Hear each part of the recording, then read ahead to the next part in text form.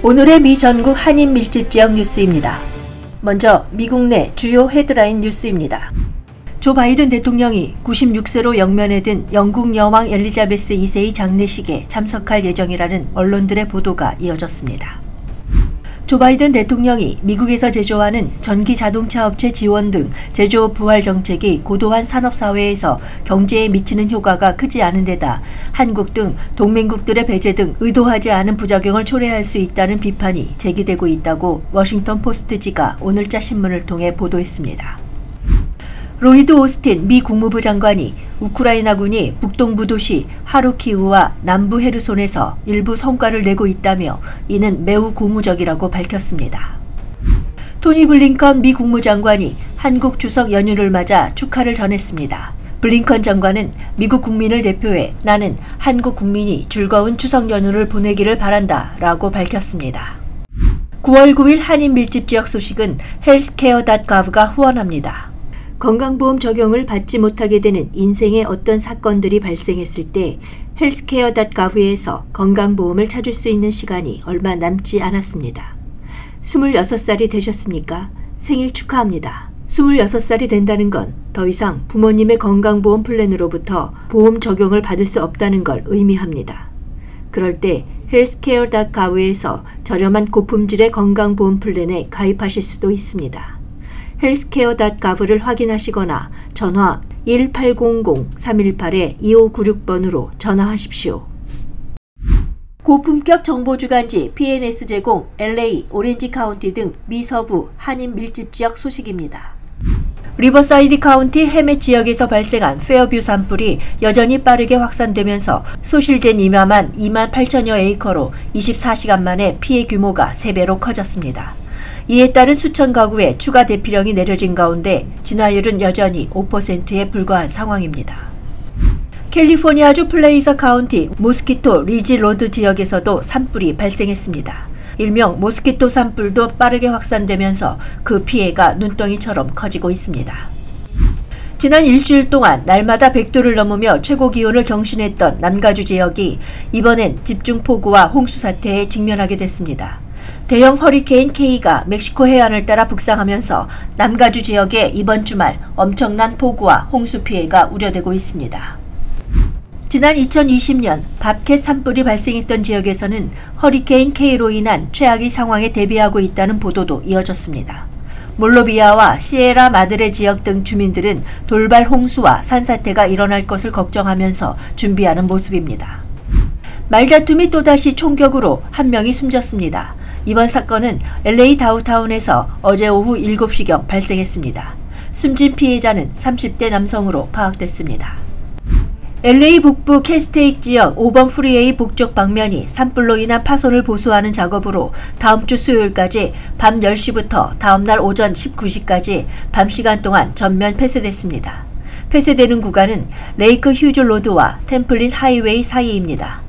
가뜩이나 차량 정체가 있는 구간으로 아침 출근길에 극심한 정체가 예상됩니다. 캘리포니아주 샌디에고 발보아 파크에서 추석을 맞아 내일 한국 역사와 문화를 알리는 행사가 열립니다. 이번 행사에서는 부채춤과 가야금 연주 등 한국 전통문화 공연도 펼쳐집니다. 한국에서의 건강검진, 진료, 수술 예약은 한국 방문 전 K-메디컬투어스닷컴에서 하실 수 있습니다. 한국병원 예약 공식 지정 업체는 한국병원 의료진과의 의료 상담도 예약 연결해 드립니다. 문의 전화는 213-437-3044번입니다. 뉴욕, 뉴저지 등 미 동부 한인 밀집 지역 소식입니다. 캐시 호컬 뉴욕 주지사가 아동 세금 공제와 근로소득세액 공제 적격 신청자들에게 추가 세금 공제 환급금을 지급한다고 밝혔습니다. 해당 납세자들은 평균 270달러에 달하는 수표를 10월 말까지 자동으로 우송받게 됩니다. 프린스턴 대가 가족 소득이 10만 달러 이하인 학생들에 대해 등록금과 기숙사 등 학비를 전액 지원하기로 했습니다. 또한 소득이 10만 달러가 넘어도 30만 달러까지는 소득 수준에 따라 학비를 차등 지원합니다. 새 제도는 내년 가을 학기부터 시행하며 프리스턴대 전체 학부생의 4분의 1 이상이 혜택을 입을 것으로 전망됩니다. 미국의 수도 워싱턴 DC가 텍사스와 아리조나주에서 보내는 수천 명의 중남미 이민자 유입에 공중 비상사태를 선포했습니다. 이번 비상사태 선포로 예산 1천만 달러를 호가보헤시에 도착하는 이민자들에게 임시 숙소와 음식 등을 지원할 계획입니다. 지난 7월 퀸즈 아스토리아에서 20대 아시안 남성에게 다가가 인종 혐오 발언과 함께 머리로 피해자의 얼굴을 가격해 치아를 부러뜨리는 등 중어범죄를 저지른 40대 용의자가 체포됐습니다. 한편 경찰에 따르면 올 현재 427명의 인종 증오범죄 피해자가 발생했습니다. 이는 전년 동기 대비 18.9%가 증가한 수치입니다. 뉴욕 시민들의 출퇴근 통근 스트레스가 전국에서 가장 높게 나왔습니다. 뉴욕 시민들이 트위터에 올린 출퇴근 관련 부정적인 내용이 전체의 45.09%로 전국 주요 대도시 가운데 가장 높았습니다. 매일 100만 명 이상의 통근자가 뉴욕시로 밀려 들어오는데 이 가운데 약 60만 명은 매일 90분 이상을 통근 시간으로 소비하는 것으로 나타났습니다. 올겨울 뉴저지 주민들의 난방비 부담이 커집니다. 다음 달부터 뉴저지 가스 공급업체에 따라 월 21에서 31달러씩 요금 인상이 확정됐습니다. 레리 호건 메릴랜드 주지사가 경제 사절단을 이끌고 다음 주 13일부터 21일까지 일주일간 한국을 방문합니다. 한국사위 호건 주지사는 방한 기간 중에 정부 인사와 기업인들을 만나 한국과 메릴랜드 주정부 간 새로운 경제적 파트너십을 위한 기회에 대해 논의하게 됩니다. 특히 제주도와는 관광, 농업, 무역 등의 분야 협력 확대를 위한 양해각서도 체결합니다.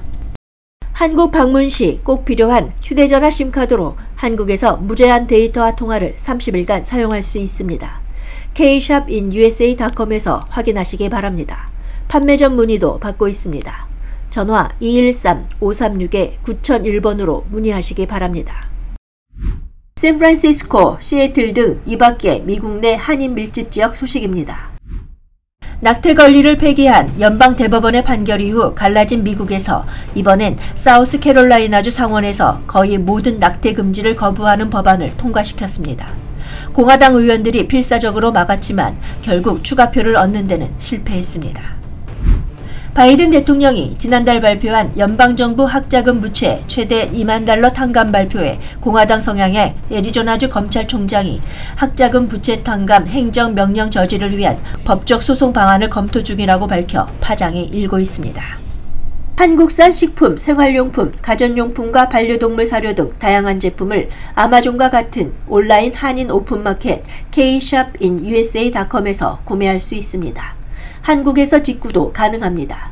kshopin usa.com입니다. 지금 무료 회원 가입하시면 특별 혜택까지 누릴 수 있습니다.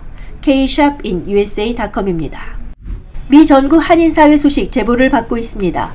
주변에서 일어난 크고 작은 사건이나 목소리를 내고 싶을 때 이메일 news at usknnews.com이나 전화 213-986-2624번으로 제보해 주시기 바랍니다.